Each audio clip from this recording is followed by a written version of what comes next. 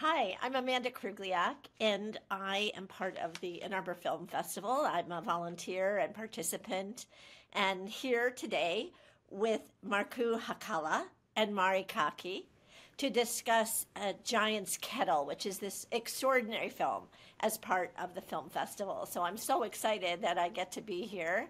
Hello, you two. Hello. Hello. Thank you. Thank you. Hi, how are you? Good. Good. Great. So, what is the time difference there? Is it fi- how many hours a- ahead are you? I'm not actually sure, but it's uh, o'clock in the evening. So, what's your Yeah. time at the moment?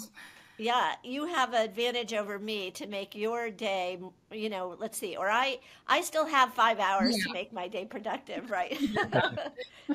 um I'm True. so glad to be with you and talk about this amazing film which I I just love and there's so many things that come to mind uh as an arts curator watching it for me you know i look at it as this piece of art visually in addition to being um, you know having this a, a sequence of potential narrative or as a film that it's truly like a series of paintings so i'm thrilled to be able to uh, talk to you today um, I thought maybe we could start before we get to that part, which feels self serving. Um, I wondered if you might just talk about the concept of the film and your collaboration and how the two of you have come to work together and just a history as collaborators. Uh, concept of the film. what should we say? Um, well, um, it's a it's a script I wrote uh, ten years ago, and it was intended to be a um, um, short film. Uh, but I uh, then uh, put the script aside because it um, it was too complicated to do.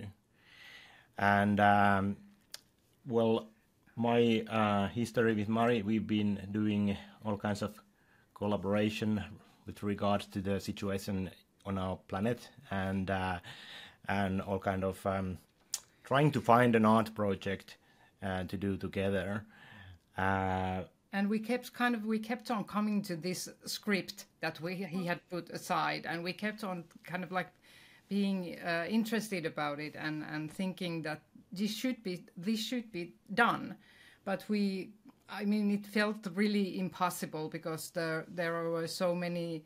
It was um, it was we, we didn't have any experience uh, almost in the filmmaking while starting this, and actually we are not. Uh, really even artists, but we are coming from totally different kinds of fields of work. So, so it felt like a two big projects to start with, but still we kind of like all the time ended up with the same script and thinking about, and then we just decided, okay, since we can't don't seem to be able to do anything else, let's do this. And uh, Yeah, so we decided that okay, it's a short film, and uh, I was struggling with the idea that it's going to probably take one and a half years to do this, and then we decided that okay, we should do it. Well, in the end, it took six years, and we had to put everything aside. for that. luckily, we didn't know it when we started how long it's going to take Yeah. for us. Yeah. And Markku, can you move a little closer to um, Yeah. just because I can't? No, now you have to move a little closer to him. There you go. I just couldn't see both of you. Yeah. Um, so t- tell me again. So you're saying you were you were not filmmakers when this project began. That you have a different um, areas of work.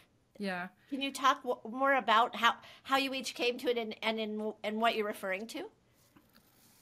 Um, Like what fuel? What sort of Yeah, well, uh, my background is in computer science actually, and and um, I was first in the uh, uh, in academia as a researcher, and then I had my own company. Um, but um, I think art was something that um, uh, I was supposed to do, but I was um, um, it was I went off course for 15 years, uh, so to say, and um, then uh, at some point I, I realized that uh, this is something that uh, is pulling pulling me. So so so I need to do this. and I work as a in Finland we call this a professional supervisor. I don't know if you have the name for that, but I help people uh, kind of like doing their work and think about and and and reflecting on their work. And I have been interested about uh, uh, helping creative people to do their work. So that's kind of like I was trying to help Markku to, uh, and also kind of like got it was more like a friendship and cooperation, not me working as a in my profession, but more like getting intrigued about this this project. And I feel that more than we that we didn't really decide that we need to do this film, but the film decided that it needs us for we feel uh, kind of like there is a third kind of party in this collaboration not just two of us but the film itself that wanted to be made. Yeah it feels that way. I mean yeah. I, I, can understand now talking to you both the uh, way that you support you nurtured each other's idea. And there's something emotionally about this film that maybe we can try to get to that there's a, a beautiful way that you know it ex- it's always expanding and contracting it feels very organic to me the way the film is in this state of becoming and um, it's it's quite tender right to watch this uh, microcosm that then becomes a macrocosm and it's a almost like a, a, looking into a snow globe at times, right? Like there's a contained world and then the possibility of, of worlds.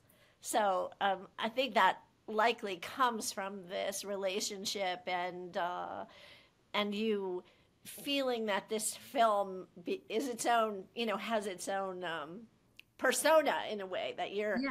you're collaborating right with the yeah. film to tell you what to do. Yeah.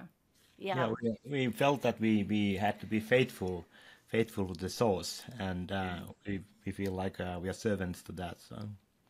Can you talk a little bit more? Let's like returning back to this uh, to this impression I have, which may or may not be right, but that the work for me is really painterly, like the way you've sequenced it, and each of these segments could be just a still painting mm-hmm. that then becomes uh, activated or inhabited and uh, even the black use of the black and white and the the composition for me feels as if it's it, it's quite painterly. I don't know if you have anything.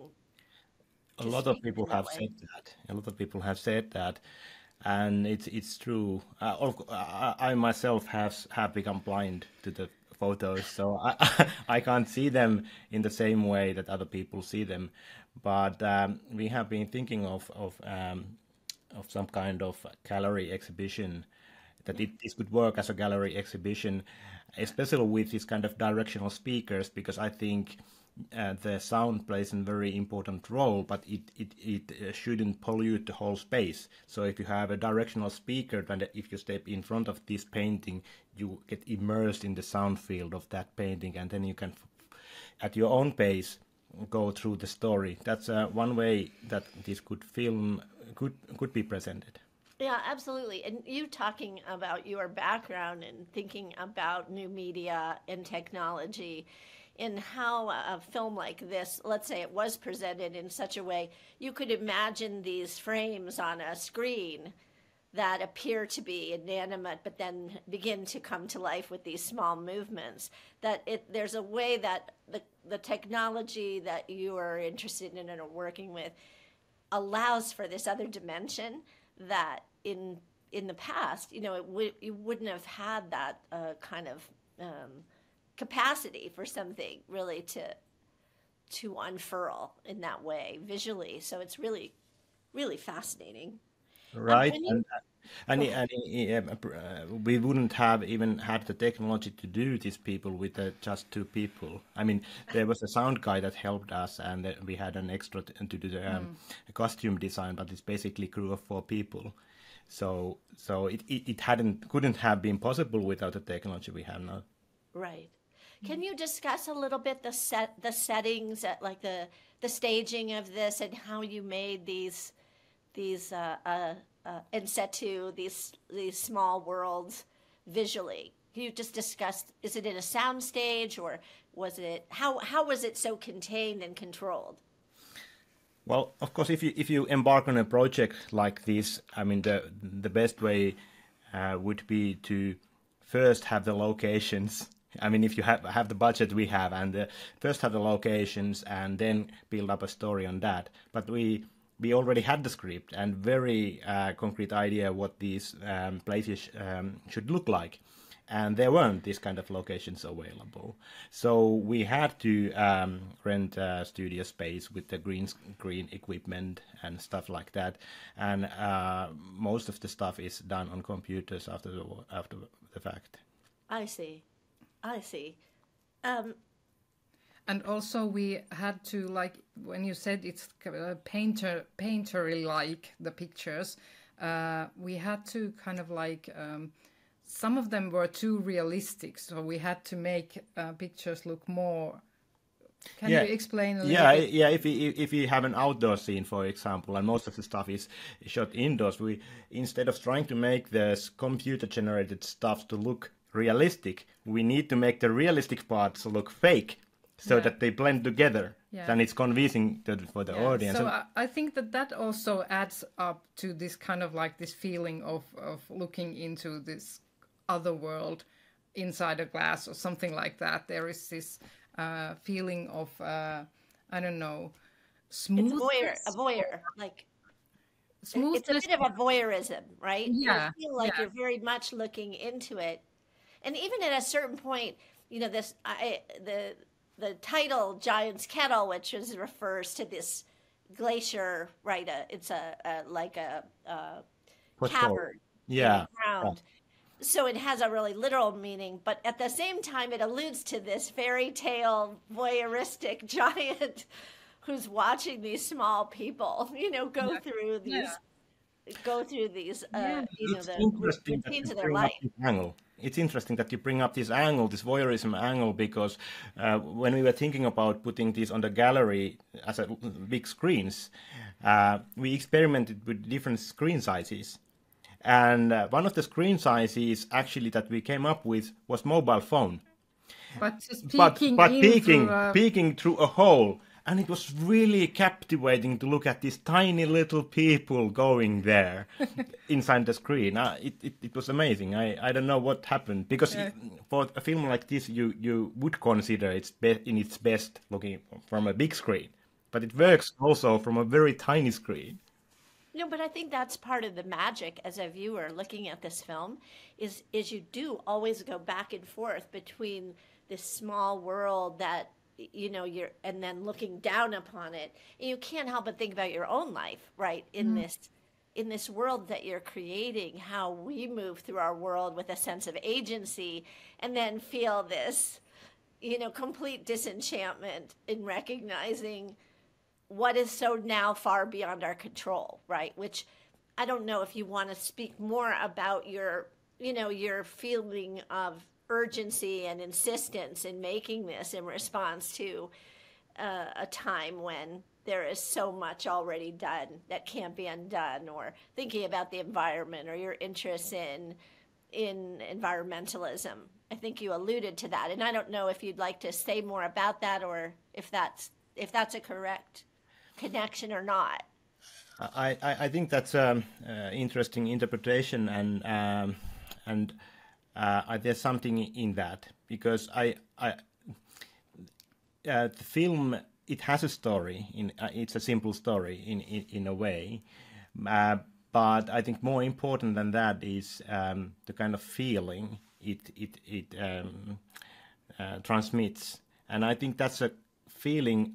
Um, to live in this world, uh, it, somehow somehow this kind of feeling of um, there must be more mm-hmm. to it yeah. that that underlies everything that it's bubbling there in everything there must be more mm-hmm. but we have rationalized it mm-hmm. we have squeezed out every, every life, life of this yeah. world yeah. and this is what is left and we're left with this world that it's like running like a machine and we have start thinking ourselves as parts of the machine and we are solving problems and it's not going to we are not going to by solving problems we are not going to solve anything Yeah. I, we are in the, we have this mindset that we need to solve problems but for the past few hundred years we have focused on solving problems. And we've generated more and more problems than we've ever had and bigger problems. So it's this rational mindset it's probably not going i mean uh, the definition of being an idiot is that you something doesn't work and you continue doing that. Yeah, and you really, you know, when you think about how time relates to the film, this repetition and how you have this sense of everything and nothing, you know, everything and nothing all at once, and the way that uh, time moves forward and and everybody still is standing still, and then the only, you know, there's this faint hopefulness though, in the, eh, you know, as the film. Uh, concludes or at least ends uh, as far as the beginning and end of the film um, just the slightest hopefulness right of the end of the child reaching into this abyss you know and and the generosity of that uh, you know of that uh, helping you know the human relationship that then has the potential or alludes to maybe something that could be a shift or Yeah. a change Yeah. um, and, but and the environment of that you know you're always I, I, it feels like you're always setting up this fairy tale. You know there's like a reference to fairy tale to an idealism and then also to this containment and reality and frustration. Yeah. Those two things yeah. Yeah, and and we think that um, we also kind of like um there there are many interpretations that we ourselves also have for this film, but one key seems to be that the the female main character of the film, the way she is um, like um, able to meet the giant and uh, and kind of like be face to face with with her uh, perhaps fears or needs or wants wants and and desires that is the kind of like the key key to the liberation of the kind of like the what happens in the end. And at the same time she is um she's also kind of like um finding her perhaps i don't know rayat like the Limits. limits or, or limits of her or i'm not i don't know. Yeah yeah. I, I don't know if you get anything out of this what i'm saying well but i do i do. I hadn't Yeah. thought about her her role yeah and also she has uh, at many points of the film she has like this uh, she tries to kind of like break free somehow but it's suffocated and uh, and uh, and uh, so I, I kind of like think that that is the the for me at least it's the something that I follow every time that I see the film. So it- it's her so her story and her kind of like the something that is alive in her. But also I think that the man is also uh, he is very I don't know I feel feel for him. I mean like he's very sympathetic and he's trying very hard to be this uh, good man and do everything right and and be heroic and and and and I think he, think of him as a kind of like this um, almost like a, a funny or comedy character or something like that. And it's it's in his trying so hard to um, be a good man and and fulfill his role. And and uh, he's at the same time mm, kind of like vulnerable Peop- Yeah. other men are looking at him all the time and he's kind of like ashamed of the finding the uh, uh, the jojo or what, what's the Mm, word Jojo. jojo from the floor and things like that and he's kind of like struggling to so there is a playfulness in him too which kind of like breaks free in the in the end of the film but it, he has to kind of like be very careful not to uh, kind of like let it be seen or things like that. So yeah, I think you definitely get that. I mean, I I feel tremendous sympathy Yeah. for the for the people in the you know in the film and um just how hard they're trying right um maybe that's part of what's so tender and what we relate to you know that feeling of wanting the next time to to get it right or um i couldn't help but think about the relationships and the remoteness there's a certain remoteness um, in regards to their relationship, and yet you can really feel this struggle to try to connect. mm-hmm. You know, yeah. it's it's so poignant. Um, did you feel making this film in the in this particular period that we're in? You know, having gone through this time of isolationism, of, of being isolated, or just having a hard time connecting suddenly in a way that feels different. Has that influenced at all how the how the characters played out? Actually, the COVID happened uh, during the later stages, so so I think this um, theme of isolation uh, it it goes beyond beyond that. Yeah. Uh, it's um, I think it has has roots maybe even in um, as we become individuals with our own egos and and therefore therefore cut ourselves from the world and from the others. And uh, uh, so I, I think our egos and working from the ego um, it's directly corresponds to the way we operate as rational people so if we want to have uh, solutions to our world the solutions lie in us being able to transcend our egos. And to be able to transcend our egos, we need to transcend the rational thinking. Right. So, so, and for us, um, and also kind of like be able to make the connections once again, like as a new person. yeah, I mean, rationality is always confined. Every rationality is confined. If you transcend rationality, you are able to reconnect, but only after that. And by transcending, I mean not getting rid of rationality. We need that. I mean, there's a lot of good things that have come out of being eh, eh, eh, uh, being able to think rationally. But to transcend that, to see that there's limitations, there's limits to rationality, and that must not rule us. In the world of Giant's Kettle, rationality rules. Everything is subjected to rationality. Everything is looked through the rational eyes. And for us, for us, and for the whole project, uh, this was a stupid thing to do. This project, we career-wise. So, in a sense, we try to live as we preach. It, it was not a rational thing to do. We had to listen what is needed from us, Yeah. and and this was what was needed us at this point of time.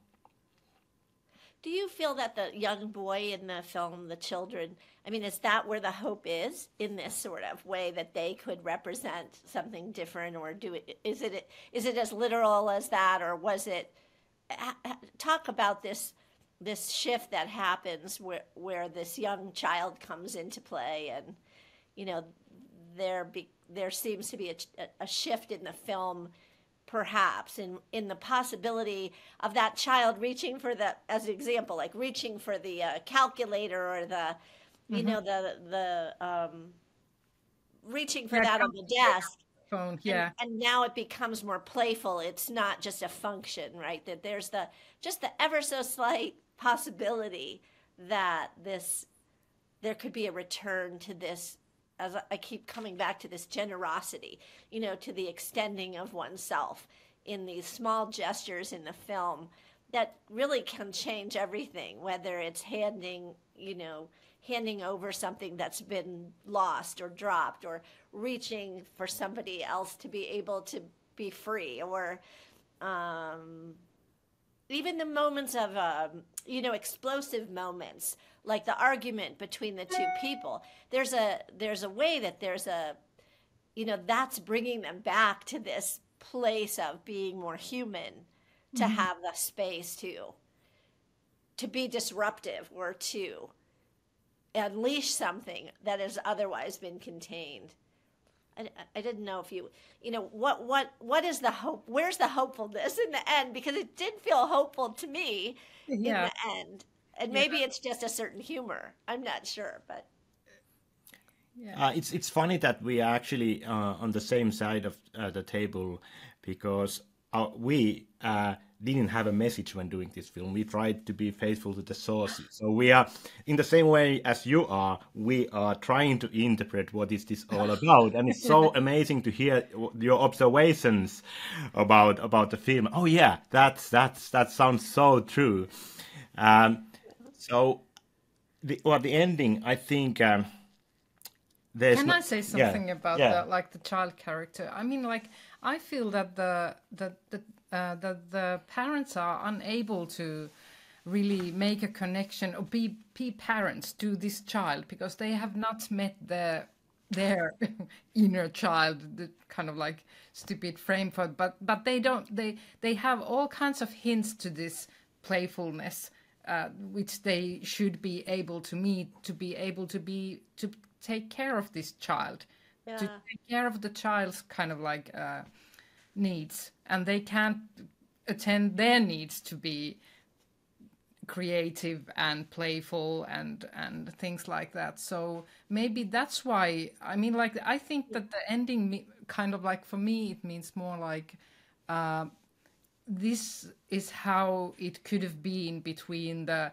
man and the woman uh, all along. They could have been uh, they could have been able to meet each other, uh, and and they could have been alive their whole lives. But somehow they the world kind of like um, took it away from them. yeah, So so in a sense, the I think the hope is in a child, but it's the child is kind of like everywhere. Little hints of the child is everywhere, not just in that child character. And I think you do get that feeling of perhaps that those being different versions of the man, you know, Yeah. the older man and the younger man, and the static scene when they're traveling, and you know, the possibility of what those relationships could be. Um, but maybe to me, one of the, you know, the most I don't know what gives our life meaning is uh, uh, certainly when if if you've had also a child or some something that could presumably will continue on after you. It's really coming to that realization of what I cannot you know of that feeling of not being able to be as fluid or change or make changes in a way that as a young person you feel like the world is vast you mm-hmm. know and as you get older you feel like everything becomes narrower. And i think that there there is a way that that child figure speaks to that Yeah. uh, sense of one's limitations have already been gone and also some future. Um, it, it's it's it's moving really you know all of these all of these nuances in the film. You know all of the ways you bring in these uh, uh, moments of cluster of feeling uh, a lack of air or you know quite literal visceral moments in the film and also these incredibly philosophical moments where you're thinking about something beyond this the small room you know becomes the whole universe so it's really really great Thank you.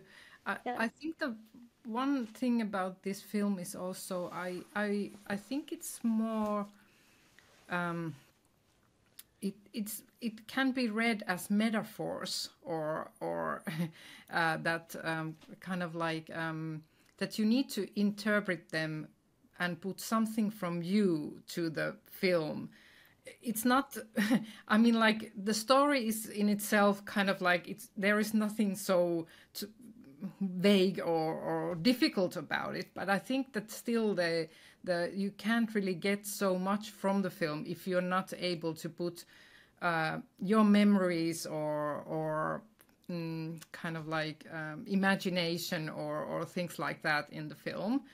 And and I think that what we have seen so far, people uh, tell us after the film that, oh, I really I remember that, for example, a scent from some place, or or I feel remembered something that felt like uh, this um, from far away from their childhood or something like that. So it really kind of like elevates um, from people's memories and and things that they have uh, experienced in their lives, and they put those in the in the kind of like fill in the uh, fill the movie um, that, or the film uh, with their own imagination and pictures and and things like that. So I think that what you say is absolutely true. That the way you've created it or structured it, even the fact that it's a narrative, but in fact it's more a series of fragments or sequences, that you leave open spaces